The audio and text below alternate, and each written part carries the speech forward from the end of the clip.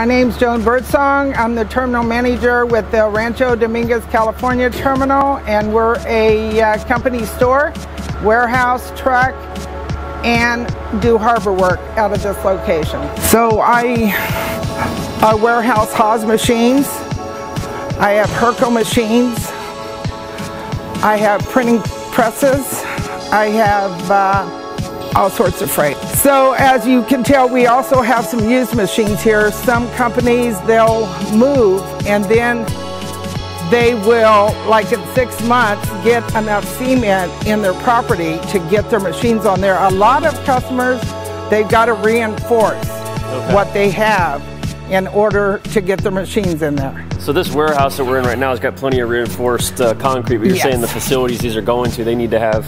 Right, especially the bigger machines. We can unload up to 84,000 pounds. So what kind of equipment, Joan, do we use to ship these then on, you know, like what trucks are we? Are we uh, double drops, yeah, double drops, low boys, um, you know, some of them are pretty heavy. We got one out there today. We're picking up, it's 81,000. We're gonna load it this afternoon. So and how many square feet is this warehouse, Joe? 75,000. 75,000 square feet. Yes, and as you can tell, it is packed.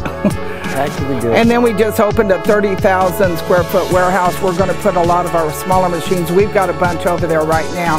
Oh, so you're literally storing like current new inventory. They'll sell right out of your facility. Exactly. Okay. And a lot of times we'll be trucking them because we charge them to load an outside truck.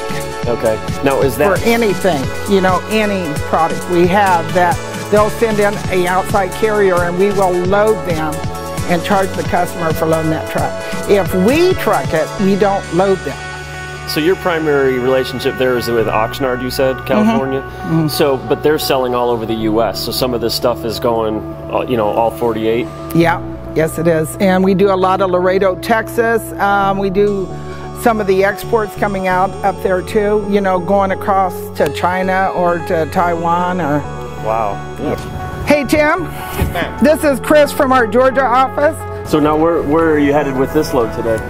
Carolina, Tennessee, all over Carolina, like five stops. Yeah. You're going cross country? Yes, sir. Oh my God. A lot of them are rigor stops and everything, and they're like really short distance and everything. And what we have to do is call everybody before we load the truck. Oh, really? We got to make sure everybody can accept it.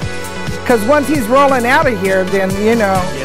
You're in a lot of a lot of trouble if you haven't already made appointments with everybody. Is that pretty typical, Joan, that you'll be able to do a multi-stop load like this, or are there mm-hmm. a lot of onesie? It, it pays better.